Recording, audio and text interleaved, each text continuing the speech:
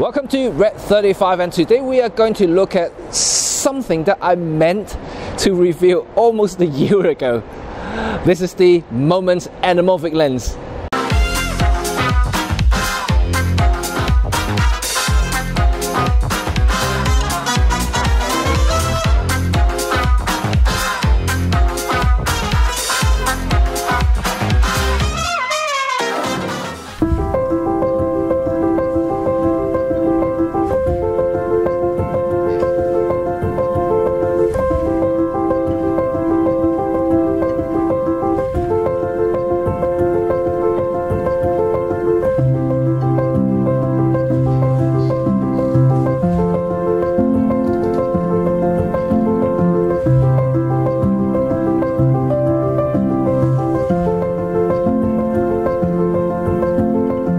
So first of all, I would like to use this opportunity to talk a little bit about this lens and why I think it's worthwhile a review. Um, well, okay, Moment is one of those forward-thinking company I absolutely adore since the beginning of the so-called smartphone filmmaking revolution. Because nowadays there are a lot of pros out there using smartphone to do uh, photography and also filmmaking. And uh, I have reviewed some of their ultra-wide angle, which is spectacular. The links up here, um, but anamorphic is definitely, definitely very, very different indeed because trying to Google the word anamorphic, then you know why. Um, and at the time when they launched, trying to launch this via the Kickstarter, there were only one option on the market, which was the Moondog anamorphic lens. And it was quite dear and expensive. I wanted to get it, but I wasn't too sure in terms of the financial commitment to get that lens if I don't use it a lot.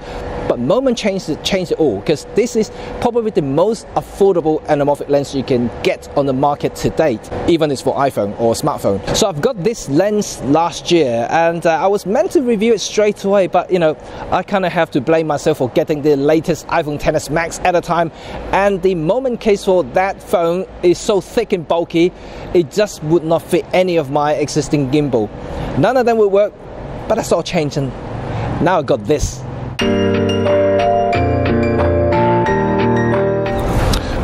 Still say a big shout out to Manfrotto who invented this little clamp here which is actually very very cool. I'm gonna show you in a minute when I'm able to lock this thing. Right, look at this, you can fold flat, unscrew it, whoa that looks cool.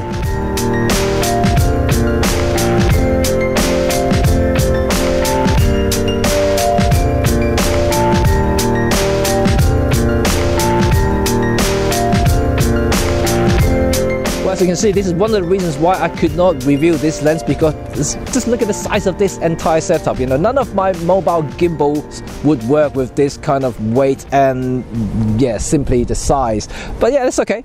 I got it. I got it now. Uh, yeah, let's start looking at the Anamorphic lens build quality.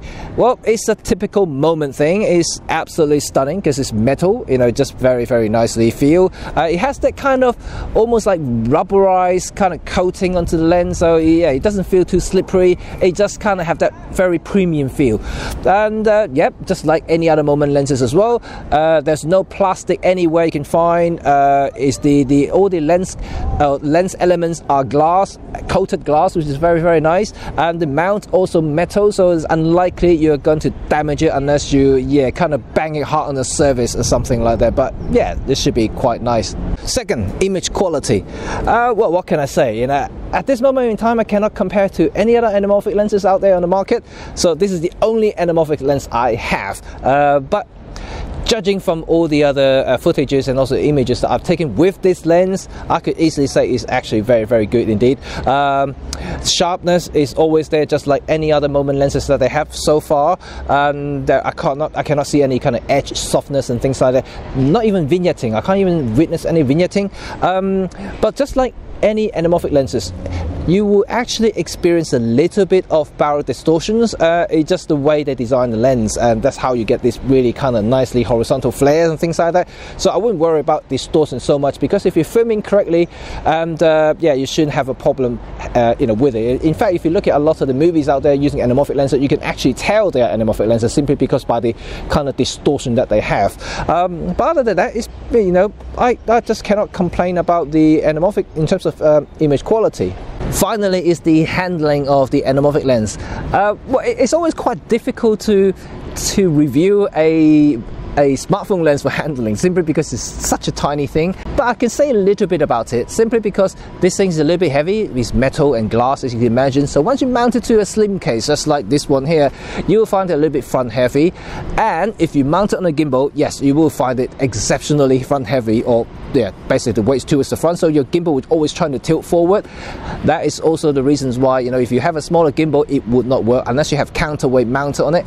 Uh, so yeah, just have to bear that in mind. Um, and if you're doing a lot of filming, just uh, you have you might actually need um, uh, accessories, just like this one at the moment. I'm fitting with the 62 millimeters uh, filter thread adapter kit for the anamorphic lens for a moment uh, so that will allow me to you know put a ND filter variable ND filter in front of it so just to cut down the light a little bit um, so yeah if once you have mounted all that in yeah this this is not like a normal thing you would hand hold you know you really want to have something beefier to just kind of stabilize it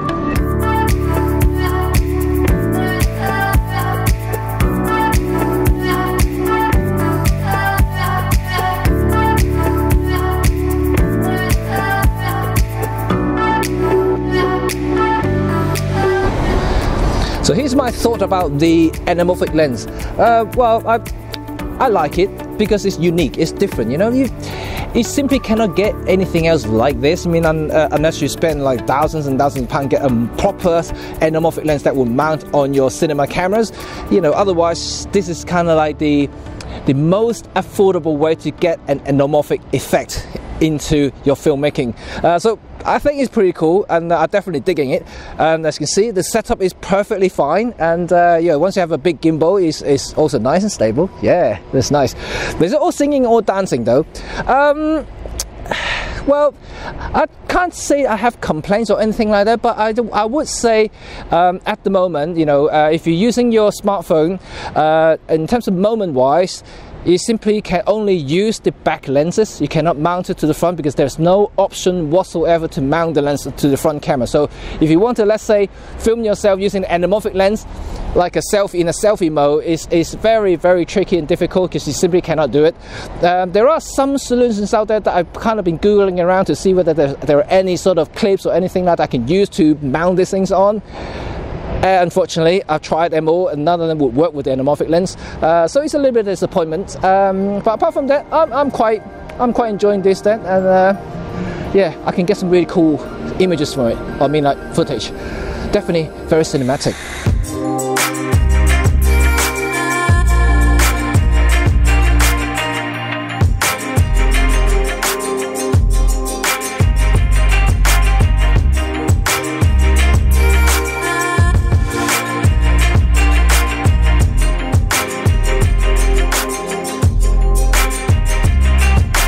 Uh, well, I hope you enjoyed these little videos about the anamorphic lens. And like I said, uh, it took me a while to get to this stage.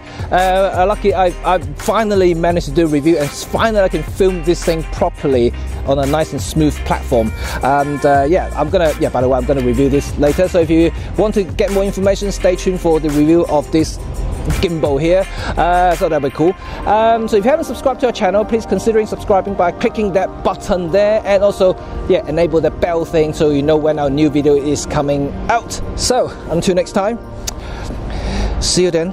再见 sayonara. Uh, uh, au revoir. What else? I don't know. Bye bye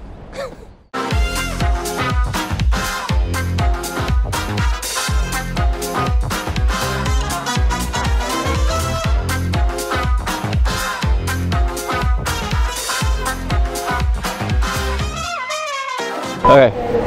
Yeah. Good. Okay. Right. One, two, one, two, one, two. Right. And Moments being one of the forefronters. Forefronters? No. Um. Yeah. Let's shall we go a deep dive? let's dig in into the uh, build quality. You see it? Yeah. Dig it. yeah, man.